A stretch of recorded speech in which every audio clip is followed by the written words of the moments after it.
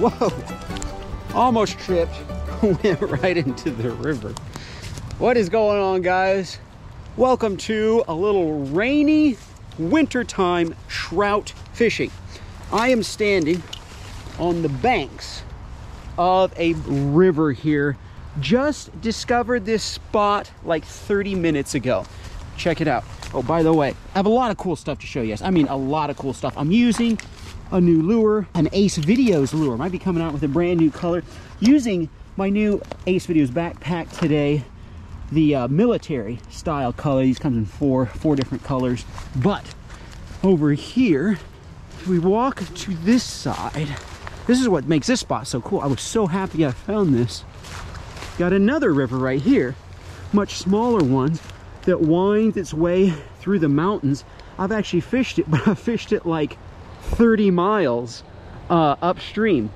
And it runs into the main river, the famous Trout River right there. So I'm in an area where I have a chance of catching really big trout. The rain has kind of stopped temporarily, which is nice. Guys, if you want to support my channel and get a fantastic backpack, make sure you check these out in the description. One of the features I love is how there's this like little pocket right up top. And uh, that way you can reach for your most important things. And they're right on the top there. I have here a whole bag of brand new baits. These are experimental. We're trying to make an ace bait. Now, if you guys follow my channel, I've had a lot of success with yellow and black and uh, I think it looks like bees. There are a lot of bees in the mountains around here, especially in the summer, and they land on the surface and the trout eat them. So we have a couple of prototypes. See, the super nice thing about this Zinger is that your um, clippers, you can put pliers on here too, is that it retracts and then you always have them in the same spot on your pack. Makes it very convenient for retying. They're not gonna go anywhere. They're gonna be in the exact same spot. It looks kind of funny looking, but I'm gonna try the other two as well. We'll just put a little bit of this Trophy Bass gel scent on it. First cast of the day. First cast the old tube. What, what, what, what? No, that couldn't have been. Could not have been. Bite on the first cast. Did you guys see my the rod tip there? Oh, are you kidding me? I think I may have gotten a bite on the first cast. Yeah, that totally just bounced. One of the things that does cross my mind is using a bumblebee color in the middle of winter may not be effective for obvious reasons. I'm hoping that just the force of the habit, the trout will, got one. Are you kidding me? The force of the habit of the trout will just bite something yellow and black anyway. A rainbow trout on the black and yellow. Oh, that is sweet. Look at that. First fish on the new experimental color. I was just swimming it along. Excellent. Well, that, well, hush my mouth about the, look at that, that little, um, kind of the triple color. They, they took the tube and, oh, oh, well, I was hoping to keep that one. Oh, he's trapped. Ah, there's no way I was grabbing him. I shouldn't have taken him off the hook over the water. I was thinking about keeping that one. One thing I did notice, it was really fat, so maybe it might have been a female, so maybe that's that's all right. Sweet. Wow. How cool. You know, guys, I use the black and yellow Panther Martin all the time. And so I thought, hey, why not why not make a little black and yellow micro trout tube? Aren't even quite sure about what we should uh, call them yet, although I think we have it picked out. My mother suggested uh, the Ace Stinger instead of something boring like the Ace Bee. She said to call it the Ace Stinger. So I think we're gonna go with that. I'm going to put on one of the other colors and see if it's more effective. Yeah, this is the first batch ever. Just threw it in a Ziploc bag. I'm gonna try one without that, uh, the head on it. We're just gonna do yellow, black, and has gold flake in there. Yeah, I'm kind of weighed out in the middle here because I want to cast right by that tree, that snag of trees there. There's a bite. Got him. oh, we got off on that other color. Another rainbow, looked like. Shoot, threw the hook. And got me all tangled. Looks like somebody hit this rock or rock with their boat. There's like white on it. Scrape some paint.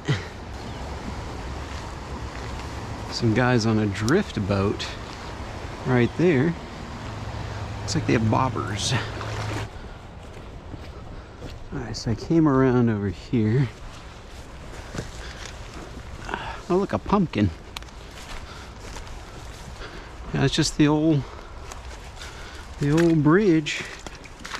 A, hey, it's a whole perfectly good pumpkin. Huh, I might use that for my trail camera series, guys, no joke.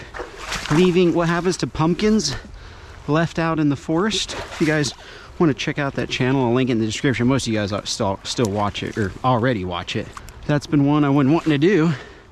I think I'll use that as the impetus for it. I can't cast this thing quite to that stanchion. I think I might have to get a big jerk bait on. All right, two trout on the tube, which I'm really happy with right off. But I need to switch to something with some heft to it so I can get it over to, what we got here? Yes, yes, yes, yes, yes. Although, gosh, I've had some good luck with that one. Yeah, I'm gonna go with this one. So I've had some pretty good luck with this color around in the Appalachian Mountains. So never tried it in this particular river, but let's give it a go. It's crazy because this river is so much deeper than the one over there. So I can't really wade out in it. And it's extra high right now because of all the rain. I just, I almost got it to the stanchion on that cast. Got one, got one. Oh, this might be a big fish. This might be a big fish. Oh, it's a good one. Yeah, it's a good one. He's kind of hooked fun. He's not as big as I was hoping, but he, he's, because he's hooked in a, oh, I'm kind of hooked in the tree, dang it. Oh shoot, that's the problem. I'm hooked in the tree. Oh, brown trout. Oh, get him up on shore. Yes, a brown trout. Sweet. Yes, just what I was hoping for. And that is a great eating size. No giant trophy, but right in that like 14 inch range. That Rapala jerkbait, boy, ever since I moved to the south, that has been uh, one of my go-tos for trout. Here we go, my friends. Beautiful eating size. Wow, that is fun. What a great day.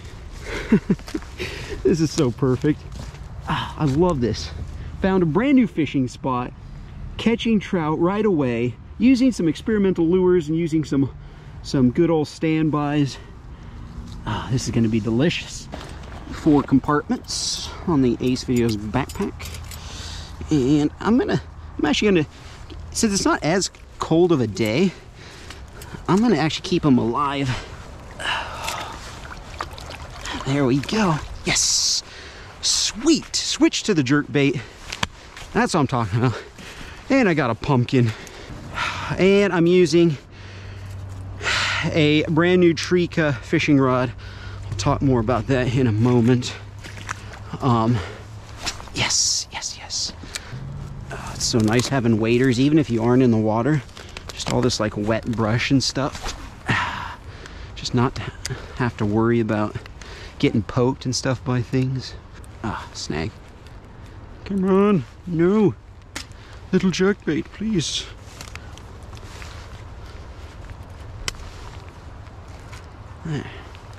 A trout just came up right there, guys.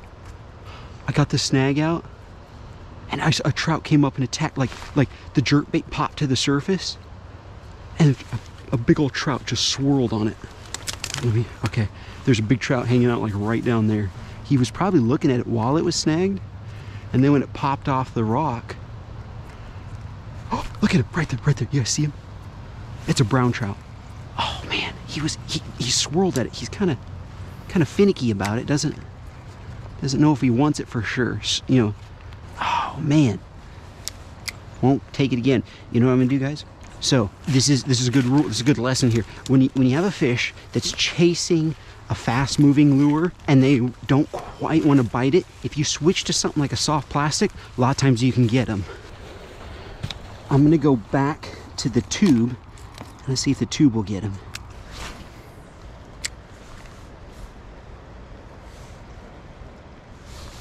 Got him on the tube. What do we got? Oh, another brown trout. Yes. Yes. Oh, shoot. What the heck? Dang it. Dang, that was, that was a, you know, was a good one for me. It's actually not a very good one for this river. This river is like filled with trophies. Not maybe filled with trophies, but Yeah, I'm gonna try this brown trout colored one. I haven't tried that one yet today. Brown trout, love to eat brown trout. It's gonna scare out the little ones and hopefully just get a big one. Got one. Nope, it was my imagination running away with me. Did you notice the bend of this rod though, guys? Check out Trika rods. I've been using them in all my new videos. They are the ultra, super lightweight rods. I mean, actually one of the lightest weight rods I think I've ever held in my hand. But while having a feather-light fishing rod is super cool, it doesn't mean a thing if the fishing rod isn't durable. And these rods are indeed durable. But what's even more impressive than this is I actually got this thing caught in a ceiling fan while I was at a condo in South Carolina and it did not break. Caught in a ceiling fan, no breakage, not even a guide missing. So I like the idea of buying a fishing rod and uh, 10 or 15 years from now, I'm still using it. Check them out in the description below.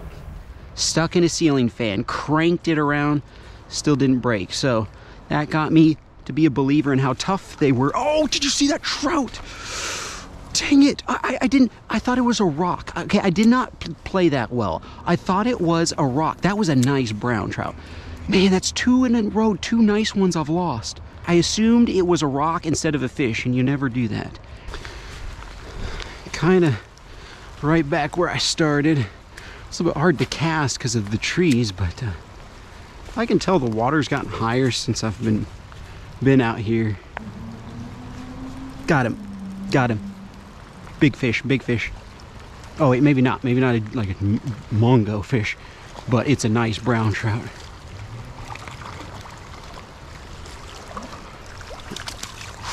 Yes! Yes, finally, after losing several. Sweet. Oh man, what a beautiful fish. Wow. On the brown trout, I mean, look at the, the color match there. That is fantastic. Another little like pounder. I I'm gonna keep this one too. I brown trout are just delicious. Ha, that's fun. Oh, yes. Thank you, Lord. Yeah, I'm gonna keep two today, I think. I think the limit's like seven. Take this stick and just knock him out real quick. Yes, look at those colors. To find a brand new spot, be catching fish at it, First time trying it. This is fun. I've gotten quite a few bites. Say like, what, six or seven bites? Well, my friends, it's not every day you stumble upon a trout spot like this. What a cool day out here too. Especially, especially a brown trout area. A brown trout hole I can come back to. Now, I'm gonna go and um, let's try to find a little spot to do some cooking. Almost forgot my pumpkin. Sweet. Yeah, this will definitely be in a trail camera video. You don't have to, I'll have to do pumpkin versus pumpkin pie in the forest.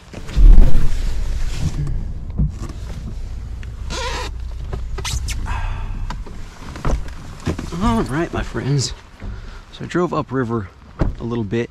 This is some more uh, public land here. And uh, you know what? I am gonna cook first before I try fishing anymore, otherwise I might run out of daylight. Got my little pumpkin here. That's gonna be a fun video. Alrighty, my friends, before we get to cooking, I have here a package from a subscriber that we are going to use the contents therein for the cook. And I wanted to show y'all what Kian Johnson sent me. He made this himself um, he cut the wood, he's 11 years old, he cut the wood and he made it so it could stand up like this. Gone fishing. So thank you to Kian, I love it. And then Patrick McKinney paid $10.70 to send this box of goodies to me. Patrick is 10 years old and he's from Lafayette Hill, Pennsylvania. And he says, come to Pennsylvania, we have great fishing here. Thank you so much, Patrick. Look at all this stuff. I'm gonna use this for the cook. I think some chip crusted trout would be crab chips. I think this is great. Ah, I thought, I've had crab chips once before. They're very strong. I think if I crush those up and crust the trout with them, it should be great. And it would pair very nicely with some Frank's Red Hot Chili and lime seasoning blend. And then he also sent me, I may or may not have already sampled these, some hot buffalo wing pretzels, which I love hot buffalo wing pretzels. And he also sent this fishing lure here and these crappie baits. I've actually used, I don't know if he uses this exact color, but very similar color. These are very effective. Thank you so much, Patrick. Let me set that right there. Put the chips and stuff right there. Then I'm gonna break out the new Cook backpack. Backpack's also available in blue, by the way.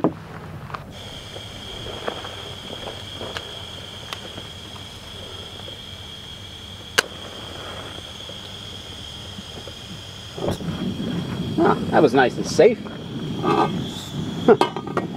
Hardly know what to do.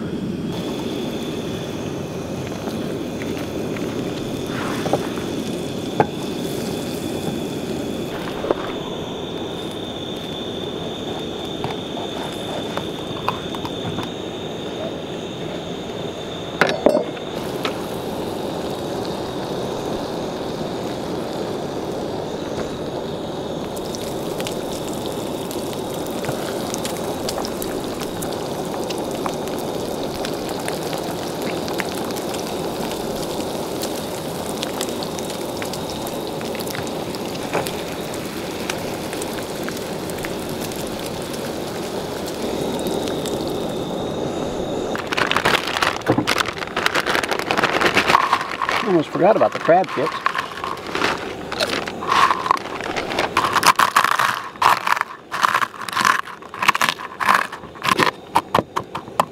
Can't forget those.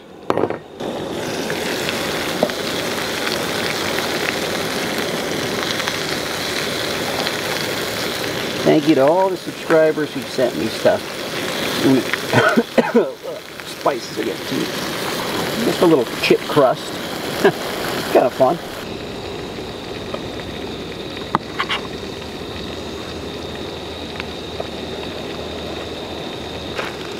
And one ultra jumbo pickle.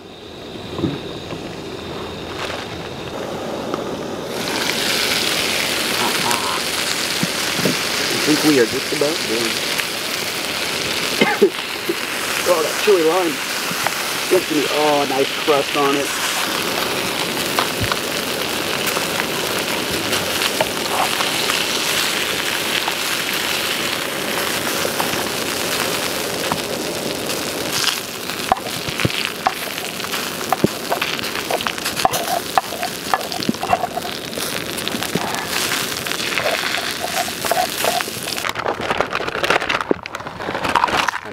Not have eaten all the other chips.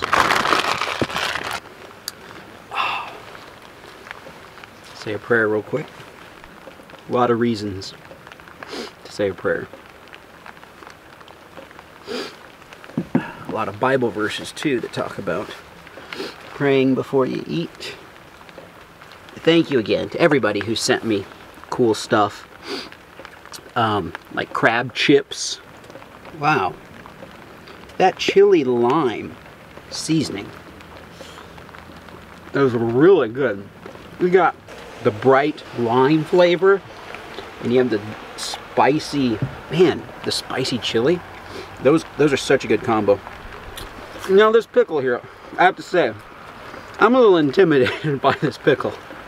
I saw it in the grocery store this morning and I was like a dollar twenty-nine. Where you get a pickle like this for only a dollar twenty-nine? I've actually never eaten a pickle this big before. And uh, yeah, this is this is a little intimidating here. Has thick, thicker skin than your regular pickle. They're um, juicier than a usual pickle because they can absorb so much juice. But the th skin is thicker. Mm.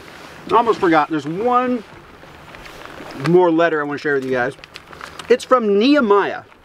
That is a great name. Nehemiah from Ohio. I like your videos. I have been watching you for like seven months. From Nehemiah, age eight. And he drew this picture. I see that there. It's a trout with crawfish on it and my first cast seasoning there. He says, I am still watching. I got your kit and have been fishing. I want to get your spice. Thank you so much, Nehemiah. Whew. Scarf that down. I think I was hungrier than I thought. I'll tell you what, chip crusted fish is really good. And that was like a slapdash job. I mean, if I actually really like packed them on there right and, and made sure I got something to say it stick to it and then fried it, like I'm gonna do, you're gonna see that again because that is amazing. The only thing I haven't finished is this monstrous pickle. It's like one pickle ate 20 other little ones. I, uh, I'll finish that later. Guys, hope you guys enjoyed. Thank you to everybody who sent me all this cool stuff. I love it. Love all the stuff you guys make as well. A lot of effort put into this. And uh, keep getting out there, keep trying new things, leveling up in real life and searching out new places because I know I found the one place earlier and this spot. I didn't even get to fishing this because I was so caught up in the cooking and it just ran out of daylight. I hate how, uh, how quickly it gets dark in the winter, but I'll just have to come back and try it. So, thank you guys so much for hanging out. Hope you enjoyed. I'll see you in the next one.